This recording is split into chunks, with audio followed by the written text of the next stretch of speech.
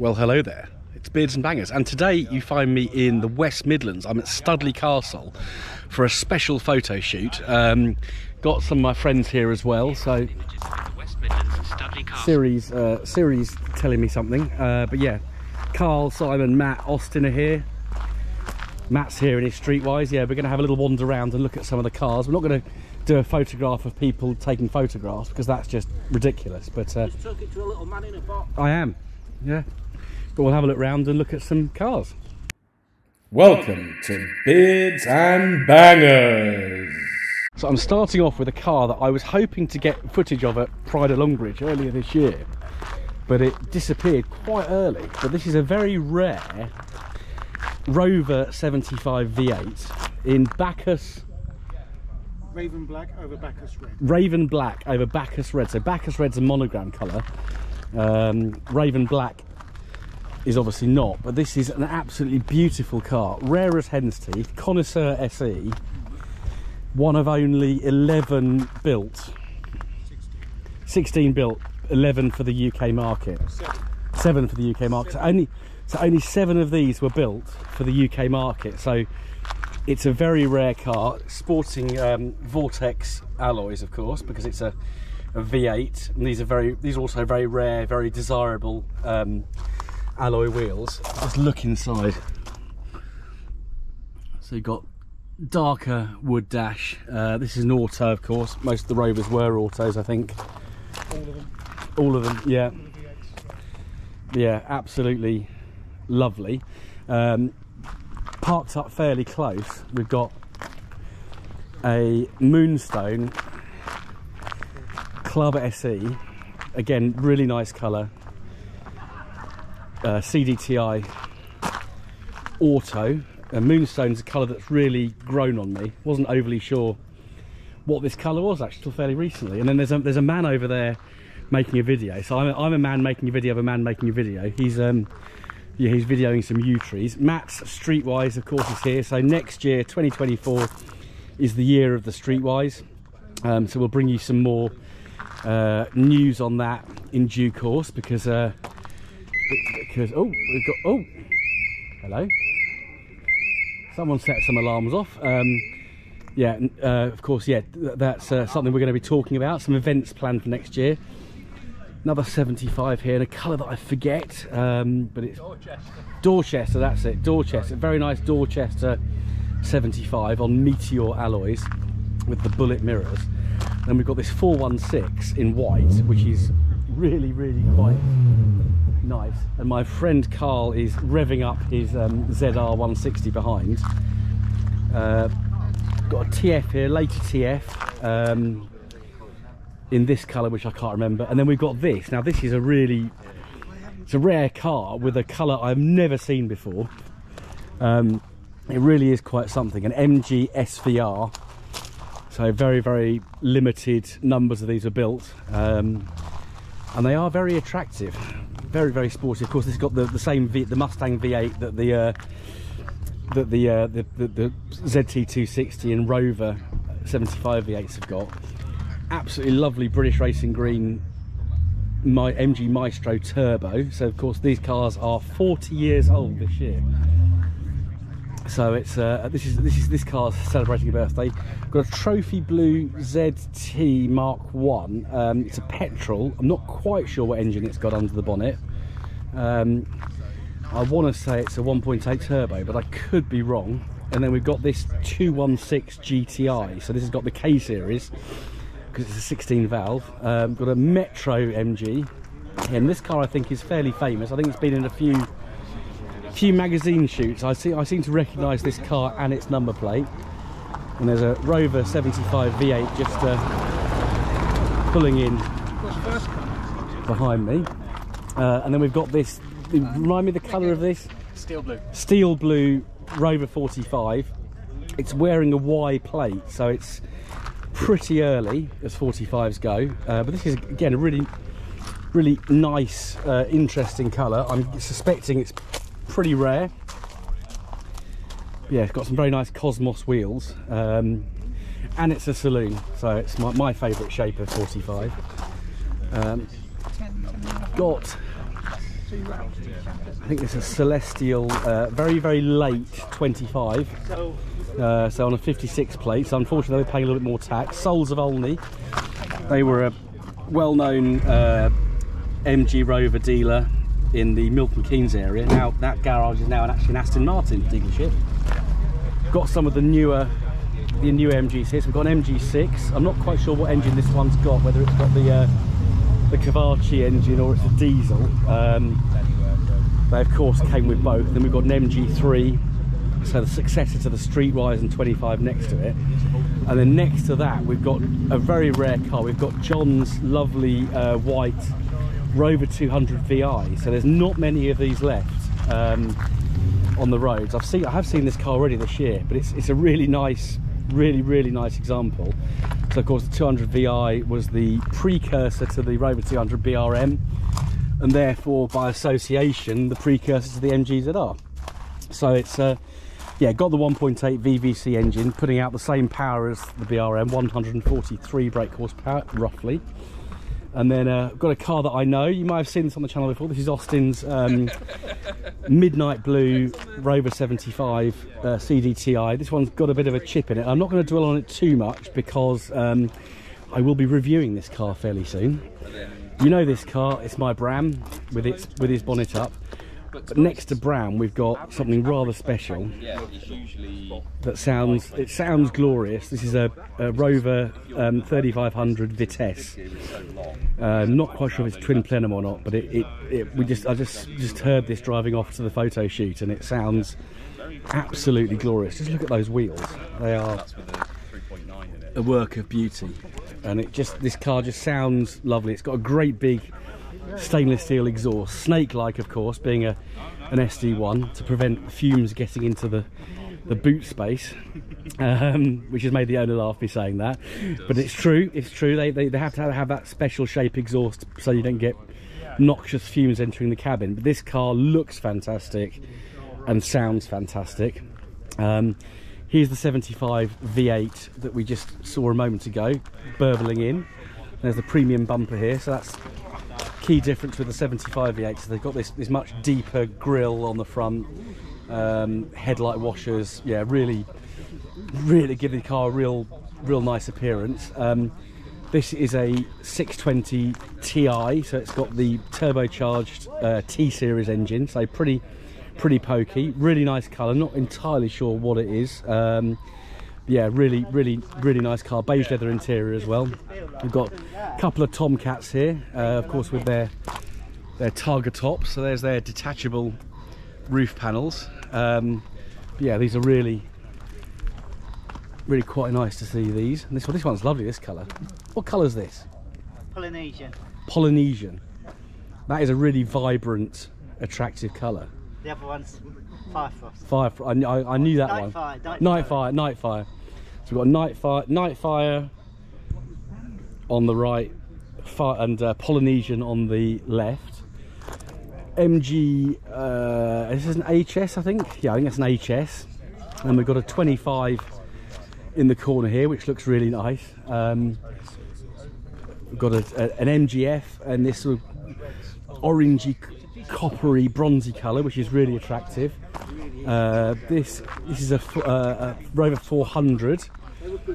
So this one's got, uh, I think that's a K series engine. Is there a K series in this? No, no, that's a T series. T. series. So we've got a Rover 40, Rover 400 Yeah, with a two litre T series engine. that's this one. And is this a, a, a, a the original engine? Yes. It is. I, I, I said news to me. I've learned something. I did not know. I'm videoing, by the way. I did not know that the um, 400 had the T series engine. You might get a weep of oil at the corner of the cylinder head. Yeah. without taking it out. Yeah, Uh, and the cam mount is a toggle to change.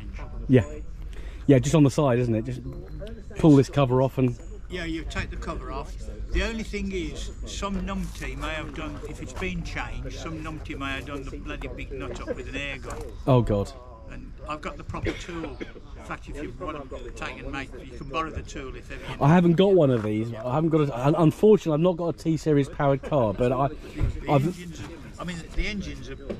It's it's a beautiful car to drive. yes, It's uh, 130, not very I use the horsepower, 130 horsepower. 130, right. But they reckon if you do all the work to them, you can get 500 horsepower out of them. But Oh, I, well, I've, I've driven an 820 Vitesse, and that was that was fun. That was fun, but um, but no, I, something I've learned today. So I did not know that they put the T series in the 400. So Well, when I bought it, I, I'm over the fact that they're supposed to be used a lot of fuel.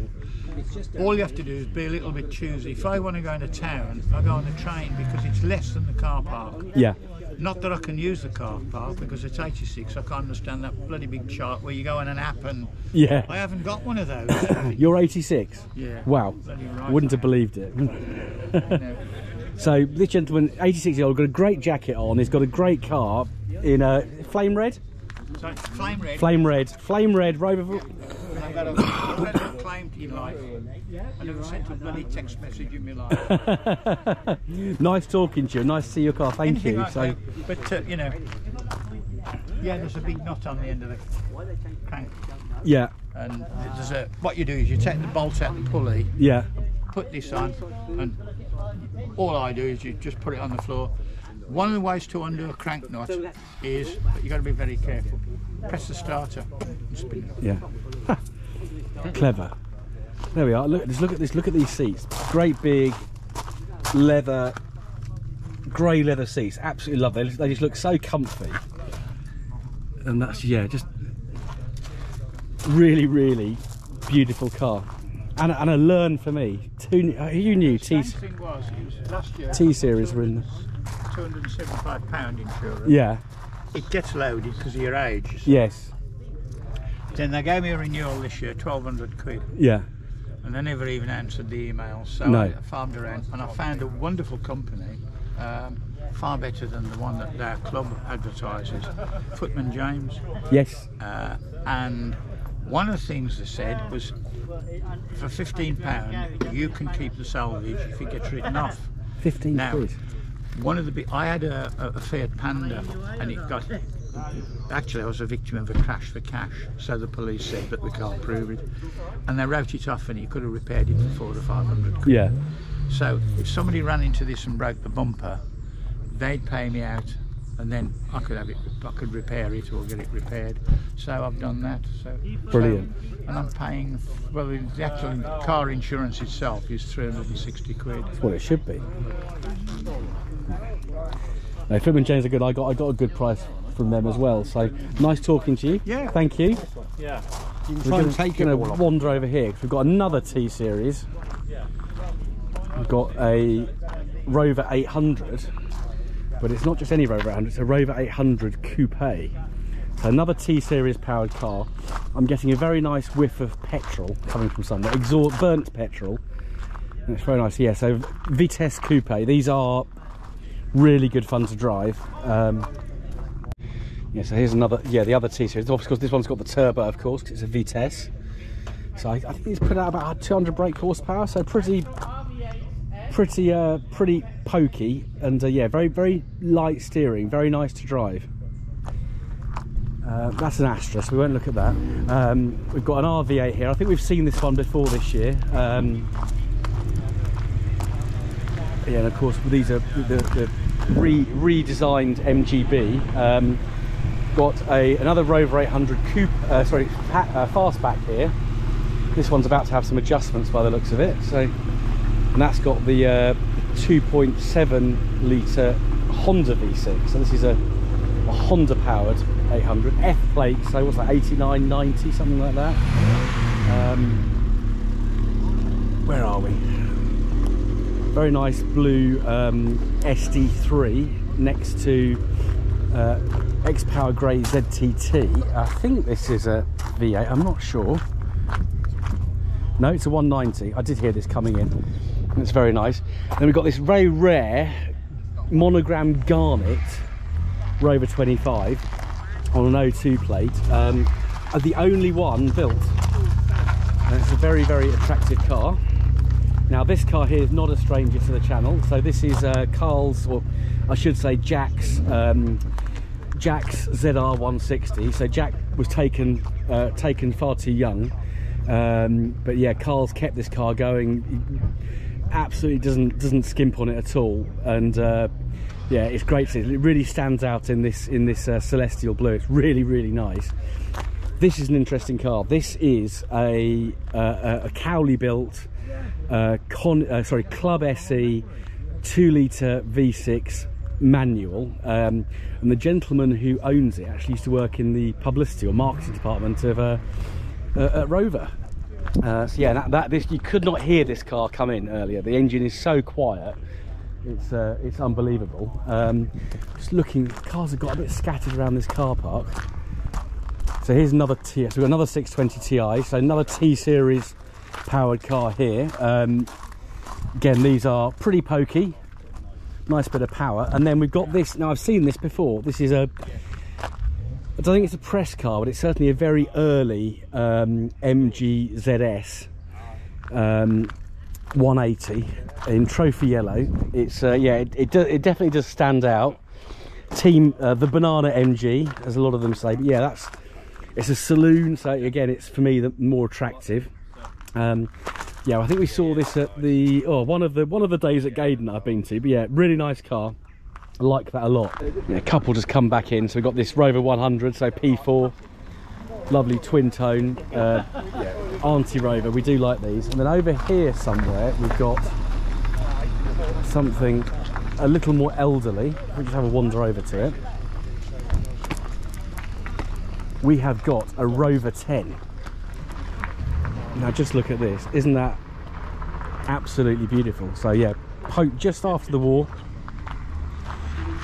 Just look at the shape of that saloon. That's a real it's actually not it's not that sedate it's got a slightly sporting feel to it there's the SVR just uh, driving off. That just sounds absolutely nuts. We've got this splendid blue um, MG BGT V8 and the engine on this is incredibly quiet you can barely hear it other than when he revved it to reverse it so yeah it's obviously a very well looked after engine with a pretty yeah pretty kind of damping exhaust on it. But yeah, sound very nice condition and sounds yeah lovely because it's quiet. So I can reveal what we're doing here. We're actually this is a photo shoot for two events. So number one is quite an obvious one. 2024 is the launch, or sorry, the, the uh, 120th anniversary of Rover's first car. Now, of course, Rover did build vehicles before their first car in 1904, and those, of course, were push bikes. So Rover were a bicycle manufacturer originally. Uh, but also, some people, controversial perhaps, but it's also the 100th anniversary of MG. So for some people it's 924, some people it's 923. But the MG Car Club are using the 1924 as the anniversary. So MG 100 2024. So by the time you watch this, there'll have been an official launch at the NEC at the classic car show and there'll be loads of publicity with photographs of all these cars mine included uh, in various publications and websites going forward. So thank you for watching. Uh, like, subscribe. Obviously, year of the Streetwise next year as well. So lots going on. So uh, see you next time, beards and bangers. Goodbye.